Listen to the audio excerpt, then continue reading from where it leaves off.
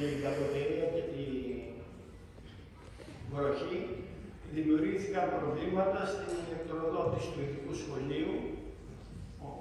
Κλείθηκε και η ΔΕΗ και το αποτέλεσμα ήταν την Παρασκευή να κλείσει το σχολείο και να μην λειτουργήσει. Ε, δεν ξέρουμε το Σαββατοκύριακο ότι έργα είναι εκεί, αν αποκαταστάθηκαν οι βλάβες και αν θα ξαναδημιουργηθούν αυτά τα προβλήματα στην επόμενη βροχή. Ε,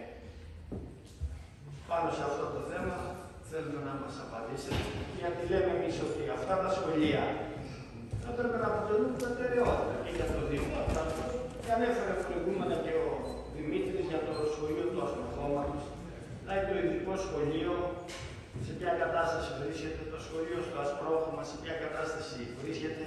Και αν θέλετε τώρα, επειδή έρχομαι από το Σουπερινό Λύκειο, το οποίο στεγάζεται σε ένα καλό πλήρω, στο πρώτο γυμνάσιο, δεν έχει προβλήματα στεγαστικά. Έχει τέσσερα τμήματα για να λειτουργεί το σχολείο, έχει τέσσερα τμήματα κανονικά. Τρεις μέρες την εβδομάδα έχει τρεις καθηγητές στο σχολείο.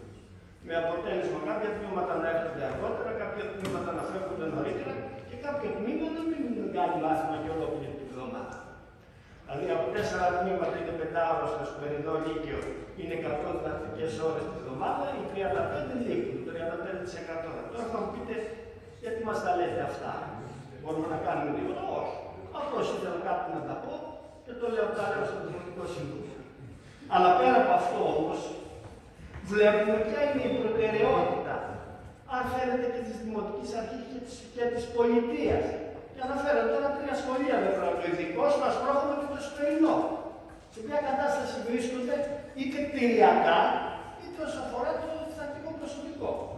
Τα καλύπτονται οι ώρε δηλαδή από καθηγητές. Γιατί ακούμε διάφορα δηλαδή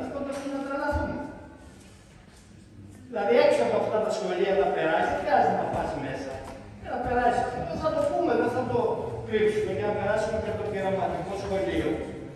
Δηλαδή απ' έξω να περάσει, δεν χρειάζεται να πα μέσα. Καταλαβαίνεις ότι είναι η προτεραιότητα της δημοτικής αρχής και της πολιτείας. Ευχαριστούμε κύριε Νιάκο. Προχωράμε στις απαντήσεις από τους αντιδημάρχου. Ποιος θέλει να απαντήσει;